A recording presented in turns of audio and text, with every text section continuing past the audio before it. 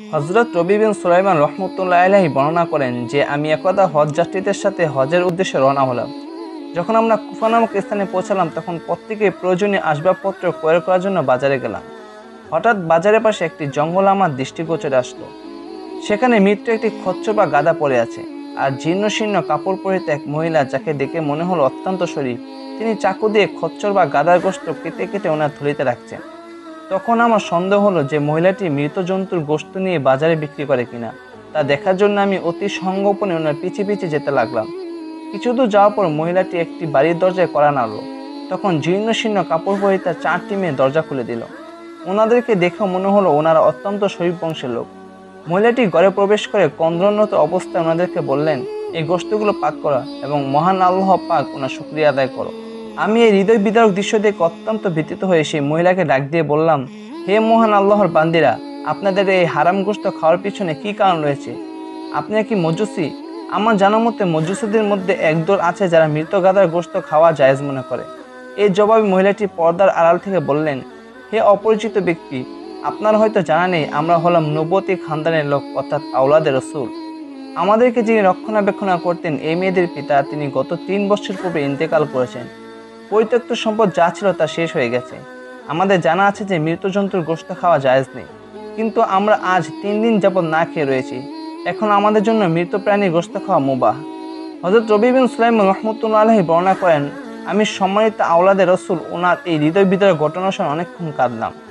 অতপর বললাম, আপনার এই সমস্ত খাদ্য দয়া করে খাবেন না। আমি খাদ্যর ব্যবস্থা করছি। বলে বাজারে গিয়ে ওনাদের জন্য কাপড় চোপড় এবং খাবার কিনে নিয়ে আসলাম।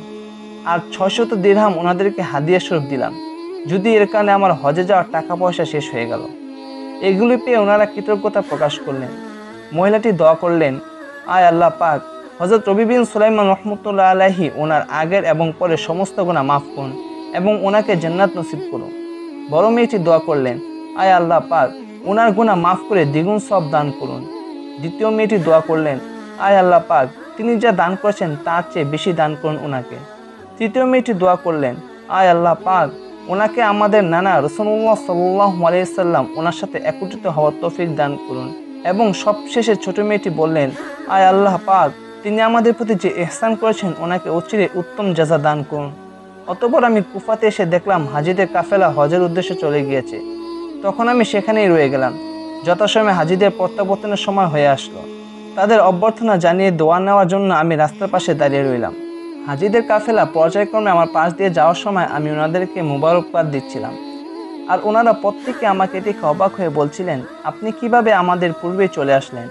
আমরা আপনাকে তো আরাফাতের ময়দানে, মুজদালিফায়, মিনাতে, মদিনা শরীফে হজের প্রতিটি ক্ষেত্রে দেখেছি। এমনকি একজন হাজি বললেন, আপনি রওজা শরীফ জেরত করার পর বাবে জিব্রাইল থেকে বের হওয়ার সময় হাজিদের বীরের কারণে আমার কাছে আমানস্বরূপ এ থলেটি রেখেছিলেন। এখন আপনার থলে আপনি গ্রহণ করুন। উক্ত হাজি সাহেব এমনভাবে বললেন যে থলেটি আমাকে গ্রহণ করতেই হলো। কিন্তু ইতিপূর্বে এ থলেটি আর কখনো দেখিনি। অতপর আমি বাড়িতে এসে ঘটনাগুলো ফিকির করতে করতে ঘুমিয়ে গেলাম। স্বপ্নে রসুল্লাহ সাল্লাহ আলাইসাল্লাম ওনার দিদার মোবারক লাভ হলো। আমি সালাম দিয়ে ওনার হস্ত মোবারক চুম্বন করলাম।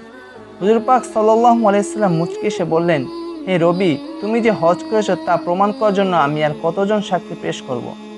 জবাবে আমি বললাম, ইয়া রাসুল্লাহ সাল্লাহ আলাইসাল্লাম দুনিয়ার আর কেউ না জানুক, আপনি তো জানেন যে আমি এবছর হজ করিনি। হুজুর পাক সাল্লাহ আলাইসাল্লাম বললেন হ্যাঁ তুমি হজে যাওনি ঠিকই, কিন্তু যখন তুমি আমার সম্মানিত আওলাদ, ওনাদের খেদমত মুবারকের আঞ্জাম দিলে আর ওনারা তোমার জন্য দোয়া করলেন, তখন আমিও ওনাদের সাথে সাথে মহান আল্লাহ পাক ওনার নিকট দোয়া করলাম, যেন মহান আল্লাহ পাক তোমাকে উত্তম প্রতিদান প্রদান করেন। এই দোয়ার কারণে মহান আল্লাহ পাক তোমার আকৃতিতে একজন ফেরেস্তা সৃষ্টি করলেন। সেই ফেরেস্তা তোমার পক্ষ হয়ে তোমার আকৃতিতে কেয়ামত পর্যন্ত প্রতি বছর হজ করবেন আর তার সব তোমার আমলনায় পৌঁছাতে থাকবে। আর উক্ত থলিতে তোমাকে তোমার ছয় শত রূপ মুদ্রা পরিবর্তে ছয় শত স্বর্ণ মুদ্রা দেওয়া হয়েছে।